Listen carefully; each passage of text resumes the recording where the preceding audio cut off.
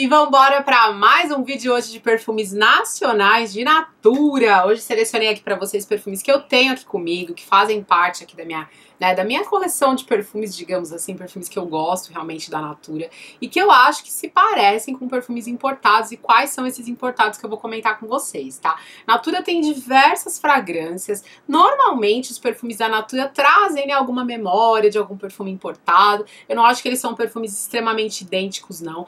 Todos eles têm a sua diferença, têm o seu toquezinho especial ali de Natura. Muitos têm o seu próprio DNA também da Natura ali bem chamativo, né?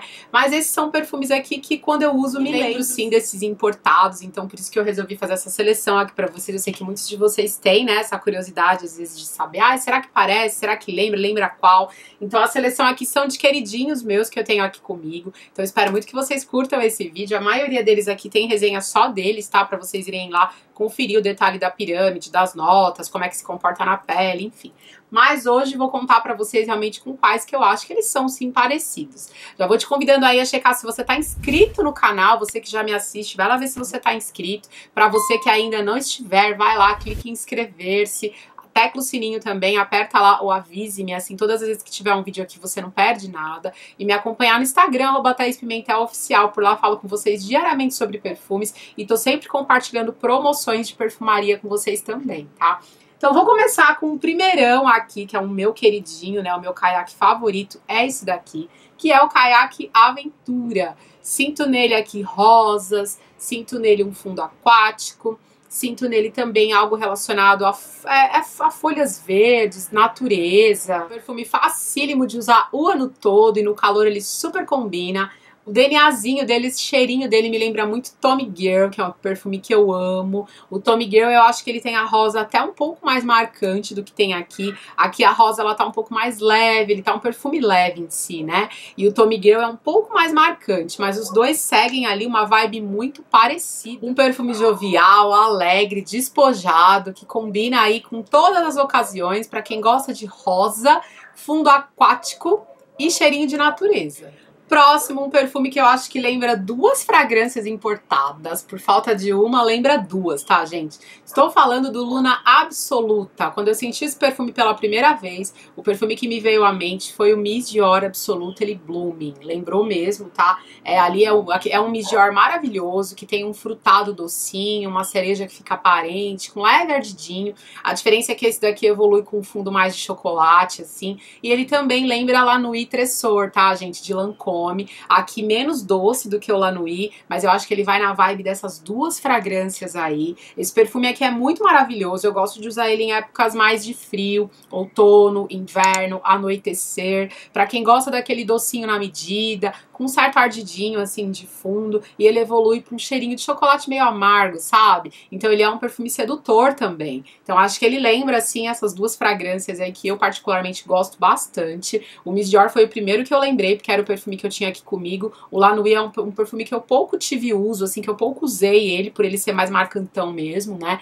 Então ele me lembrou Miss Dior de cara, assim, o Absolutely Blooming, que é um perfume que tá até descontinuado, difícil de encontrar. Então recomendo super o Luna Absoluta para vocês, que além de tudo eu acho que ele é um perfume maravilhoso mesmo. Próximo, mais um ali dos Luna, e esse daqui é o Luna Intenso, também um dos meus favoritos. Esse perfume aqui, quando eu borrifo ele, a lembrança que eu tenho é do Euforia de Calvin Klein.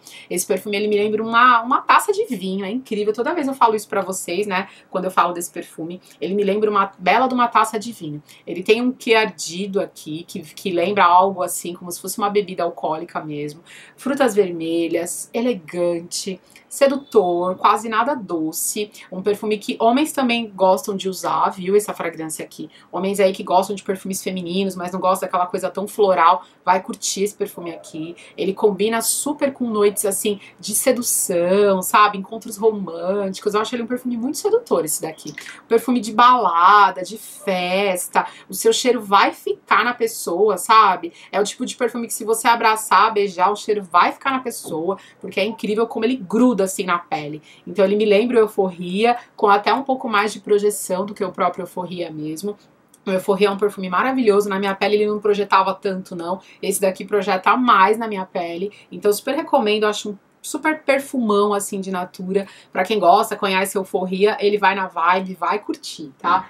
Próximo, né, um perfume diferente. Eu sei que não é todo mundo que é apaixonada por ele não, porque ele é diferente. Estou falando do Essencial Oud, esse aqui é o tradicional. A Natura tem toda uma linha lá, né, pegada em Oud, que é um, um ingrediente caríssimo da perfumaria, que tem um cheirinho amadeirado, é uma resina, mas que tem um cheirinho amadeirado, né? E aqui o Essencial Oud, pra mim, ele me lembra muito Velvet Rose Oud de Jo Malone, que é um perfume aí, né, de é, nicho, já de uma linha Lá da Jo Malone. Ele lembra bastante, sim, por causa da rosa com oud. Aqui também tem o jasmim, que torna ele mais floral do que o rosewood, né? Lá é rosa com oud mesmo, basicamente isso. E aqui ele tem uma pirâmide maior, ele tem mais flores na composição, tá? O que torna ele até mais usável do que o, o, o tá, gente?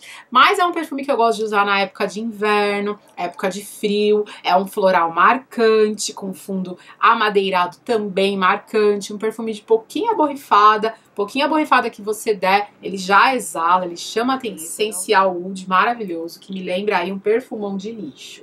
Próximo, né, mais um da linha Essencial, e esse daqui é o Essencial Elixir. Também tem resenha dele, só dele aí pra vocês, quem eu inclusive comparo com o Essencial Elixir, que tinha o outro frasco. E pra mim ele lembra muito La Panthère de Cartier, um perfume super chique, com fundo chipre, né, inclusive, muito musgo de carvalho que tem lá, patchouli, e aqui ele vem mais ou menos desse mesmo jeito. Eu acho que a diferença desse daqui é que na saída ele é um pouco mais leve, ele tem uma pera aqui na composição que deixa ele mais aberto, sabe? Ele tem um frutado mais, é, é digamos assim, mais luminoso, mais agradável de usar no dia a dia, enquanto que o La Panthère já começa perfumão desde a saída, né? Mas a evolução deles é bem parecida. Esse, esse perfume é um perfume elegantíssimo. Eu digo aí que quem quer um perfume perfume elegante mesmo para impressionar, seja numa reunião de negócio, seja num encontro chique, esse daqui é o perfume, sabe, gente? Ele passa a sensação assim de mulher poderosa mesmo, tá? Então eu acho ele elegante, ele tem um, um comportamento maravilhoso na pele, ele dura muito na pele o dia todo e ele tem também uma excelente projeção, tá? Então, próximo é um recente, né, que, que Natura lançou aí, Biografia Encontros. Esse perfume é um querido, gente, um super querido para mim, adoro ele.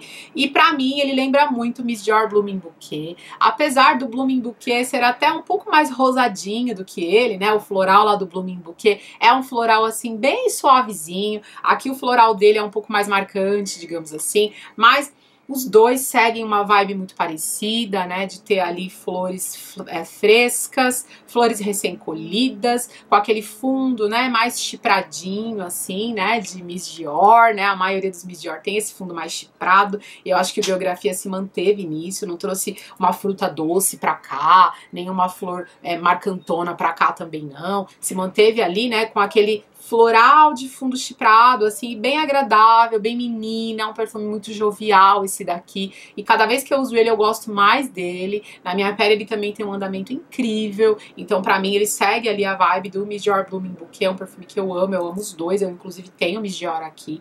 Então, esse daqui é um perfume que eu super curti nesses últimos lançamentos que Natura fez. E o último, não menos importante, Ilia, gente. O Ilia, para mim, ele lembra demais o Viva La Juice. Eu tenho o Viva La Juice aqui em casa, que não é meu, que é da minha filha. Os dois são bem parecidos, com diferença de que o Ilia, ele tem um pouco mais de toque assabonetado, enquanto que é, o Viva La Juice, ele fica mais adocicado, mais floral mesmo, tá? Aqui ele tem algo assabonetadinho, assim, né, que dá uma certa refrescada no cheirinho dele. E lá não, lá ele permanece mais doce do começo ao fim. Mas eles têm o DNA bem parecido, um cheirinho que vai uma, no mesmo caminho, assim, um consegue lembrar o outro muito bem. Esse daqui é um perfume que eu gosto muito, um perfume de ano inteiro, levemente adocicado, né? É tudo nele eu diria que é levemente, sabe? Então ele é muito redondinho assim. Ah. Então Ilia tradicional que lembra muito para mim o Viva La Juice, que também é um perfume bem caro e bem difícil também de encontrar, tá, gente? Então é isso, galera. Essa foi a seleção aqui que eu trouxe para vocês de perfumes da Natura que eu tenho aqui comigo, que eu uso no meu dia a dia e que me lembram perfumes importados. Espero muito que vocês tenham curtido esse vídeo. Deixem mais perfumes aí da Natura que vocês acham que lembram importados pra gente conversar aí nos comentários que eu vou adorar bater papo com vocês. Quem curtiu aí o vídeo, deixa aquele like, um super beijo. Até os próximos. Tchau, tchau.